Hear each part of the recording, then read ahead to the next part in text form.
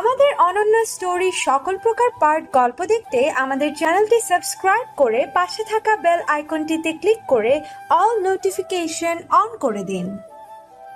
ঘুম থেকে ওঠেনি এখনও। আসলে কাল অনেক রাত পর্যন্ত অফিসের কোন প্রজেক্টের কাজ করছিল, ভোরের দিকে ঘুমিয়েছে, তাই আজ একটু বেলা করে ঘুমাচ্ছে। তুমি গিয়ে বরং দেখে আসো। ওঠে কি না? ওকে আমি দেখে আসছি। খুশি সিঙ্ক থেকে নেমে এগিয়ে গেল প্রহরের রুমের দিকে। রুমের দরজা আস্তে করে খুলে ভেতরে উকি দিয়ে দেখল প্রহর এখনও ঘুমিয়ে আছে। খুশি আস্তে করে পা টিপে টিপে ভেতরে ঢুকলো। প্রহর খালি গায়ে শুধু একটা থ্রি কোয়ার্টার প্যান্ট পরে বিছানার উপর উপর হয়ে ঘুমিয়ে আছে। খুশি সেটা দেখে মনে মনে বলল বাহ আমার সামনে তো দুনিয়ার যত কাপড় চোপড়ের পর্দে নিজেকে লুকিয়ে রাখে। আর এখানে কি সুন্দর খালি গায়ে শুয়ে আছে। যেন ঘুমের মাঝে অপসরীরা এসে ওনার সৌন্দর্য উপভোগ করবে। দুষ্টু খুশির মাথায় আবারও দুষ্টু বুদ্ধিরা কিলবিল করছে। খুশি প্রহরের পাশে বেডের উপর উঠে বসে মাথা ঝুঁকিয়ে প্রহরের পিঠের মাঝ বরাবর কুটুস করে একটা কামড় বসিয়ে দিল। ঘুম ভেঙে গেল প্রহরের কপাল কুচকে পিঠে হাত বোলাতে বোলাতে ঘুরে চিত হয়ে শুল সে। চোখ খুলে খুশিকে দেখে কোনো রকম প্রতিক্রিয়া প্রদান করার পূর্বেই খুশি হঠাৎ প্রহরের পেটের ওপর চড়ে বসল। নিচের দুই হাত প্রহরের দুই হাতের মাঝে ঢুকিয়ে বিছানায় চেপে ধরল। তারপর ভিলেনি হাসি দিয়ে বলল মুহাম তেরা ক্যা হোগা কলিয়া? প্রহর ভ্রু কুচকে বলল কালিয়া? হু ইজ কালিয়া? প্রহরের কথার জবাব না দিয়ে খুশি একই ভঙ্গিতে বলতে লাগল এখন কে বাঁচাবে আমার হাত থেকে তোমাকে? আজ তো নুন মরিচ ছাড়াই তোমাকে কাঁচা খেয়ে ফেলব। প্রহর নিজের ঠোঁট কামড়ে হেসে উঠল। তারপর খুশির মতোই নাটকীয় ভঙ্গিতে বলল নেহি দয়া করে এমন করবেন না। আপনার ঘরে কি বাপ ভাই নাই? খুশি বাঁকা হেসে বলল বাপ ভাই তো আছে কিন্তু তোমার মতো হট চকলেট তো নেই ডার্লিং। প্রহর এবার ফট করে খুশিকে বিছানায় ফেলে দিয়ে কাতুকুতু দিতে দিতে বলল তাই না? তাই। আর খুশি শুধু মুচড়া মুচড়ি করতে করতে খিলখিল করে হেসে যাচ্ছে। এক পর্যায়ে প্রহর থেমে গেল। খুশির কপালের চুলগুলো আঙ্গুলের সাহায্যে আলতো করে সরিয়ে কানের পিঠে গুজে দিল। ললাটি ভালোবাসার পরশ এঁকে দিয়ে মায়া ভরা কণ্ঠে বলল সকাল সকালে এই হাসি মুখটা দেখানোর জন্য ধন্যবাদ।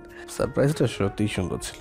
খুশি প্রহরের গলা জড়িয়ে ধরে বলল তুমি চাইলে রোজ সকালেই এই দর্শনের সৌভাগ্য লাভ করতে পারো।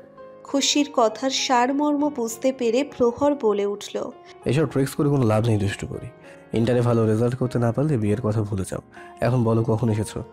এই তো মিনিট দশেক হবে। আচ্ছা তুমি থাকো। আমি ফ্রেশ হয়ে আসছি। খুশি দুষ্টু হেসে বলল আমিও যাই তোমার সাথে।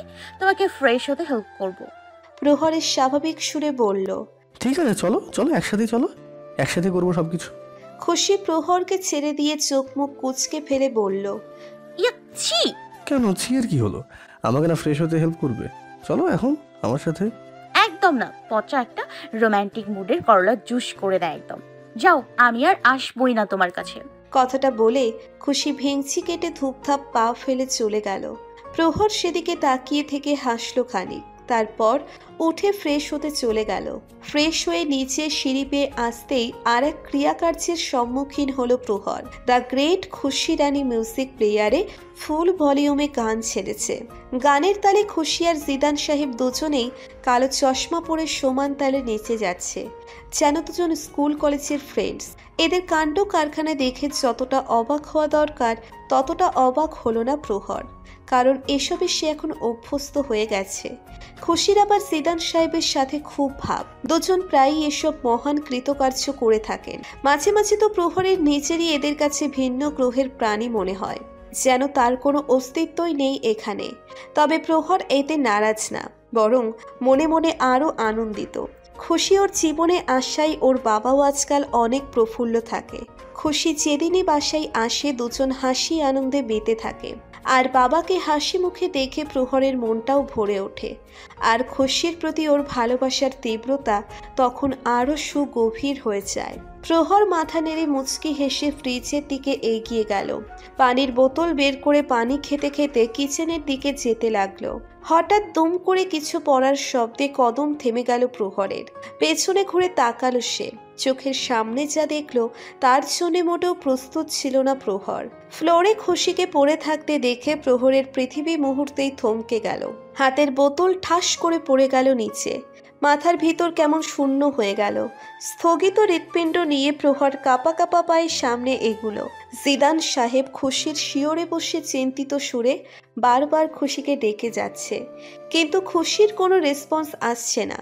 জিদান সাহেব প্রহরের দিকে তাকিয়ে চিন্তিত সুরে বললেন, দেখ না প্রহর, কি হলো মেয়েটার? নাচতে নাচতে হঠাৎ করে পড়ে গেল। কি হলো? আমি কিছু বুঝতে পারছি না। প্রহর ঢোক গিলে জোরপূর্বক হেসে বলল আ- আরে বাবা তুমি ভয় পাচ্ছ কেন? আমি জানি ও নিশ্চয়ই মজা করছে। তুমি তো জানো ও কতটা দুষ্টু। এখনও দুষ্টুমি করছে। এক্ষুনি দেখবে ফট করে উঠেই পড়বে। প্রহর খুশির পাশে হাঁটু গেড়ে বসে কম্পিত সুরে বলল এই দুষ্টু বলি। দেখো আমি জানি তুমি নাটক করছ। তাই এসব করে কোনো লাভ নেই। উম, জলদি উঠে পড়ো। না হলে কিন্তু আমি অনেক বকা দেবো। উঠে পড়ো বলছি। খুশির কোনো রেসপন্স না দেখে প্রহরের অন্তর্দেশ কেঁপে উঠছে। হৃদস্পন্দন থমকে যাচ্ছে। ভয়ে অন্তর শুকিয়ে আসছে ওর। খুশির কিছু সত্যিই হয়েছে সেটা মেনে নিতে পারছে না ও। প্রহর খুশির গালে আন্ত চাপড় মেরে থমকিত হৃদয়ে বলল হ্যাঁ এই খুশি। দেখো ভালো হবে না কিন্তু বলে দিলাম। ইটস টু মাছ নাও বন্ধ করো সব জলদি উঠে পড়ো। এবার কিন্তু আমি সত্যি মাধ্যমে বলে দিলাম। সিদান সাহেব বলে উঠলেন প্রহর আমার মনে হয় না ও অভিনয় করছে। খুশি বোধহয় সত্যি অজ্ঞান হয়ে গেছে। প্রহরের সব শূন্য হয়ে যাচ্ছে। হাত পা কাঁপছে ওর। প্রহর দুই হাতে খুশির মাথাটা তুলে ধরে পাগলের মতো বলতে লাগল এই দুষ্টু বুড়ি দুষ্টু বুড়ি অনেক হয়েছে না? দেখো আমি সত্যি ভয় পেয়ে গেছি অনেক ভয় পেয়ে গেছি। এবার তো ওঠো প্লিজ চোখ খুলে তাকাও না। কথা বলো না আমার সাথে।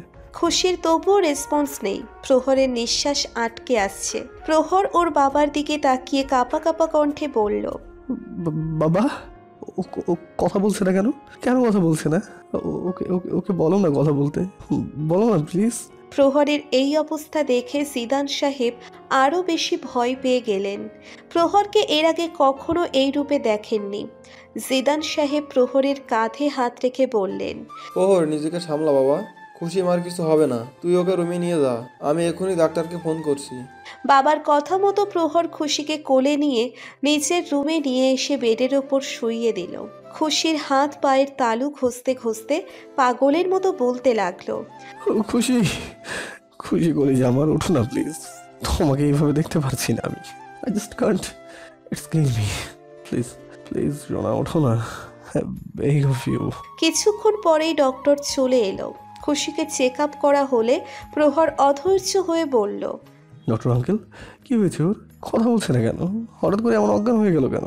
ডক্টর বলে উঠলেন দেখো এমনিতে তো তেমন গুরুতর কিছু বোঝা যাচ্ছে না বিপি একটু লো আছে। হয়তো খাওয়া দাওয়া ঠিকমতো করেনি তাই বিপি লো হয়ে এমন হয়েছে। আমি ইঞ্জেকশন দিয়ে দিয়েছি কিছুক্ষণের মধ্যে জ্ঞান ফিরে আসবে চিন্তার কিছু নেই। তবে যদি আবারও এমন কিছু হয় তাহলে হসপিটালে নিয়ে গিয়ে কিছু টেস্ট করিয়ে নিও শুধু নিশ্চিত থাকার জন্য। চেক আপ শেষে ডক্টর চলে গেল। প্রহর তখন থেকেই খুশির হাত ধরে বসে আছে। একটু আগেও কি সুন্দর নিজের উদ্দীপনায় বাসাটা মাতিয়ে রেখেছিল। আর এখন হাসি মুখে মেয়েটাকে এভাবে নির্জীব হয়ে পড়ে থাকতে দেখে প্রহরের কলিজা পুড়ে যাচ্ছে। সে কিছুতেই সহ্য করতে পারছে না। জিদান সাহেব প্রহরের মাথায় হাত বুলিয়ে রুমের বাইরে চলে গেলেন। সব সময় সব সিচুয়েশনে কঠোর, শক্ত থাকা প্রহরকে আজ এমন ভেঙে পড়তে দেখে সিদান সাহেবও চিন্তায় পড়ে গেলেন। আল্লাহ না করুক মেয়েটার কখনো কিছু হলে তার ছেলে যে নিঃশেষ হয়ে যাবে, সেটা আজ খুব ভালোভাবেই উপলব্ধি করতে পারছেন তিনি। কিন্তু অতিরিক্ত কোনো কিছুই ভালো না। ব্যাস, বিধাতার কাছে একটাই চাওয়া, তার ছেলেটাকে যেন আবার কোনো আঘাত না পেতে হয়। মিনিট দশেক পর খুশির জ্ঞান ফিরল। খুশিকে চোখ খুলে তাকাতে দেখে প্রহরকে থমকে থাকা হৃদস্পন্দনে নিঃশ্বাসের সঞ্চালন হলো। অশ্রু সচল চোখে অতি আকাঙ্ক্ষিত কোনো কিছু প্রাপ্তির খুশি ভেসে উঠল। প্রহর স্বস্তির হাসি দিয়ে দুই হাতে খুশির মুখটা আগলে ধরে বলল থ্যাংক গড থ্যাংক গড আমার খুশি মনের জ্ঞান ফিরে এসছে। তুমি ঠিক আছো তো খুশি? খুশি কতক্ষণ এলোমেলো চোখে তাকিয়ে রইল প্রহরের দিকে। তারপর হঠাৎ বলে উঠল খুশি? কে খুশি? আর আপনি কে? আপনি কে? কোথায় আমি? প্রহরও আবারও আতকে উঠল অস্থির কণ্ঠে বলল খুশি? কি বলছো এসব? কি হয়েছে তোমার? আমাকে চিনতে পারছ না? খুশি হঠাৎ ফিক করে হেসে দিয়ে বলল উল্লু বানায়া বড়া মজা আয়া লুক এট ইউর ফেস চোয়াল শক্ত হয়ে এলো প্রহরের। নিজের ক্রোধ এবার কন্ট্রোল করতে পারল না। যার ফলস্বরূপ প্রহর খুশির গালে ঠাস করে একটা চর বসিয়ে দিল। দুই হাতে খুশির মুখটা ধরে ক্ষিপ্ত সুরে বলতে লাগল মজা চলছে এখানে? মজা চলছে এখানে হ্যাঁ? সব কিছু তোমার কাছে শুধু মজার বিষয় তাই না? এখানে আমার জান বেরিয়ে যাচ্ছে আর তোমার মজা লাগছে। তোমার আন্দাজ আছে কতটুকু সময়ের মধ্যে আমার উপর দিয়ে কি ঝড় বয়ে গেছে? তোমাকে ওভাবে নিস্তেজ পড়ে থাকতে দেখে আমি কতবার মরেছি তার হিসাব আছে তোমার? How could you do this to me খুশি? খুশি মাথা নিচু করে ঠোঁট উল্টিয়ে অপরাধীর সুরে বলল সরি প্রহর এবার খুশিকে বুকের মাঝে শক্ত করে জড়িয়ে নিল, যেন বুকের ভিতর ঢুকিয়ে নিতে পারলে শান্তি হবে। বুকের সাথে মিশিয়ে নিয়ে আবেগী কণ্ঠে বলল, আর কখনো এমন করো না দুষ্টু করি তোমাকে না কতবার বলেছি খাবার অনিয়ম করবে না। কেন শোনো না আমার কথা? নিশ্চয়ই তুমি সকালে খেয়ে আসনি, তাই না? তাই তো অসুস্থ হয়ে পড়েছো। প্লিজ আমার কথাটা একটু মেনে চলো। তোমার কিছু হয়ে গেলে যে আমি বেঁচে থেকেও মরে যাব। আমাকে এমন মৃত্যু যন্ত্রণা কখনো দিও না প্লিজ প্রহরের জড়িয়ে ধরায় খুশি প্রহরের হৃদস্পন্দনের আওয়াজ শুনতে পাচ্ছে, যা এখন অস্বাভাবিক গতিতে চলছে, আর প্রহরের শরীরের কম্পনও অনুভব করতে পারছে খুশি। জ্ঞান ফিরে প্রহরের চেহারায় বিধ্বস্ত অবস্থা দেখেই খুশি ঘাবড়ে গিয়েছিল। তাই তো প্রহরের মাইন্ড ডিস্ট্র্যাক্ট করার জন্য অমর মজা করেছিল। কিন্তু প্রহরের এই অবস্থা দেখে খুশি রীতিমতো ভয় পেয়ে গেল। এত ভালোবাসা যে ভালো না। প্রহরের এত ভালোবাসায় আবার নজর লেগে যাবে না তো? আল্লাহ না করুক, কখনো অনাকাঙ্ক্ষিত কিছু হলে প্রহর সইতে পারবে তো?